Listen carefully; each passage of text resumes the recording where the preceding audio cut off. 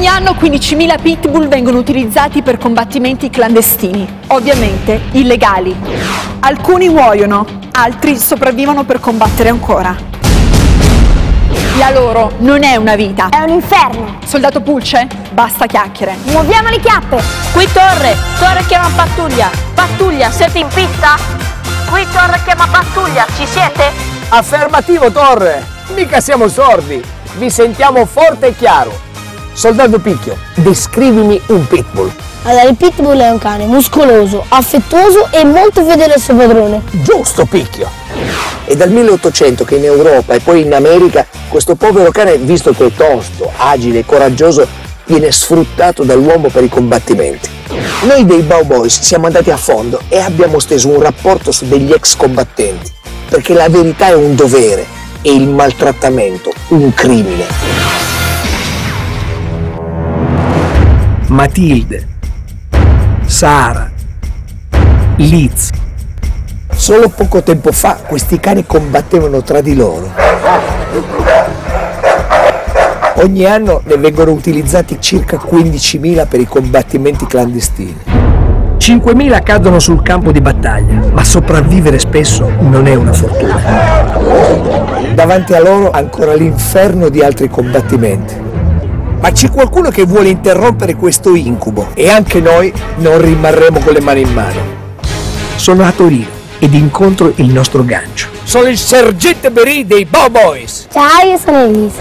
Li ho chiamati perché hanno recuperato dei cani che sono maltrattati perché l'hanno fatti lottare tra loro e hanno eh, bisogno di tante cure e tante coccole. Cara Elisa, ufficialmente sei uno dei Bow Boy. Vado a trovare i cagnolini bisognosi di coccole. Sono al canile dell'Ente Nazionale Protezione Animali. Incontro Paola, la responsabile del progetto Ex Combattenti. Questo progetto è in essere da una decina d'anni, da quando nel 2002 sono stati sequestrati eh, circa un, eh, 22 cani, dove c'erano 18 adulti e 4 cuccioli. Quei quattro cuccioli che sono stati trovati erano in una cassa al buio, tenuti lontano dalla mamma, chissà che cosa avevano già passato. Qual è lo scopo di questo progetto? Questi cani hanno bisogno che gli venga restituita la dignità.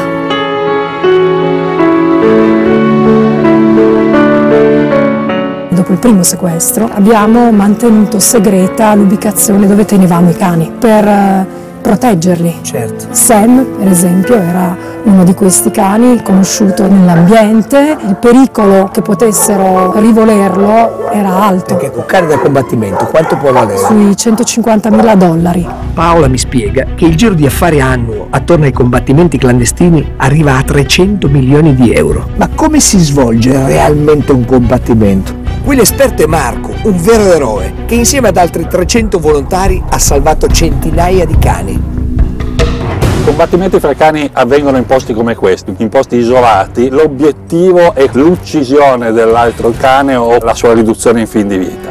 La crudeltà umana arriva a trasformare questi cani in sanguinarie macchine da combattimento.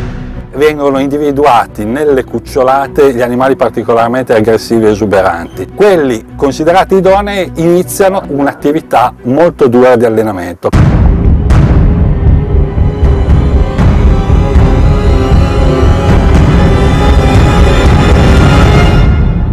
Uno dei metodi per aumentare l'aggressività del cane è un semplice sacco. L'animale viene inserito dentro questo sacco, viene chiuso, viene bastonato e poi questo sacco viene riaperto con un cane davanti. In questo modo il cane associa al dolore che ha provato l'immagine del cane. Questo è un altro semplicissimo ma ahimè efficace strumento di tortura. Col morso del cane attaccato al pneumatico, il pneumatico viene sollevato da terra addirittura fino a 10 metri. Questo tipo di trattamento permette di aumentare la muscolatura della mascella. Dopo questi maltrattamenti, il chiamarli ex combattenti non basta a cancellare il loro passato. Cani giunti al nostro centro di recupero sono arrivati con ferite profonde, molti di questi cani hanno richiesto più di 100 punti di sutura solo al muso. I segni purtroppo sono visibili ancora oggi e lasciano una traccia indelebile sulla sofferenza di questi animali che noi cerchiamo di cancellare dalla loro psiche. C'è chi li dava per spacciati, ma insieme a Paola c'è un gruppo di angeli, capitanati da Giusi, che sta credendo in loro.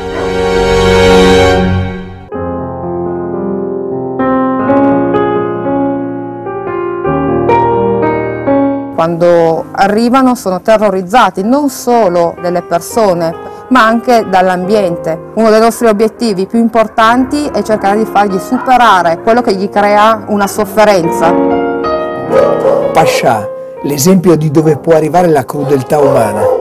Pascià è un ex combattente che arriva da Sarajevo. Il costo per Pascià di combattere era altissimo. Quello che faceva il proprietario per poter gestire meglio questo suo stato emotivo era creare dei comportamenti alternativi, offrendo a lui dei cubetti di porfido dove il cane poteva scaricare tutto il suo stress. Per questo Pascià oggi si ritrova senza denti. Liz, la piccola principessa, un vero e proprio pungible canino.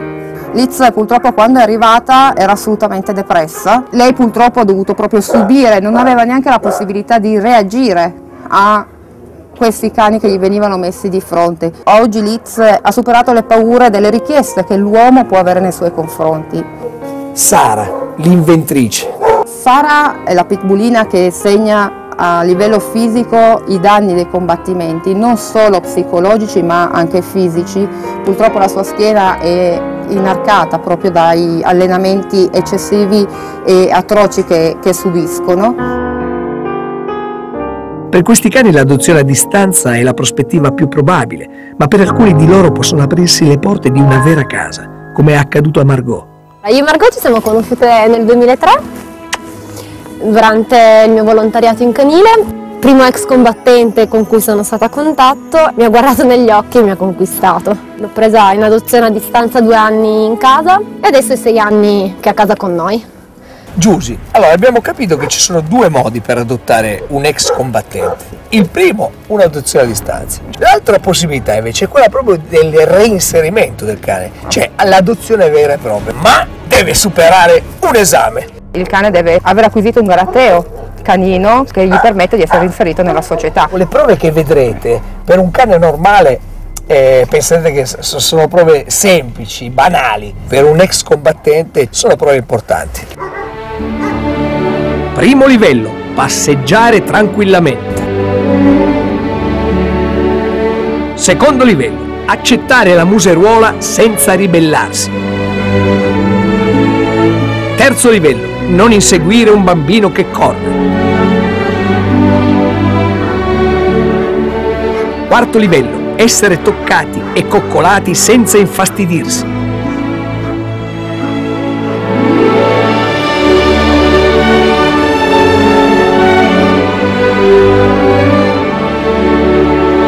Quinto livello, accettare una visita veterinaria.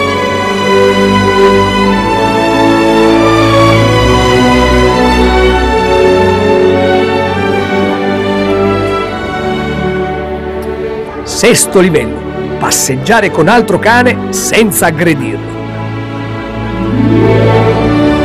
Complimenti a tutta la squadra, siete eccezionali, siete dei veri Bow Boys. E non solo, quattro amici hanno passato l'esame. Sono adottabili, possono entrare in una famiglia. E quindi missione compiuta!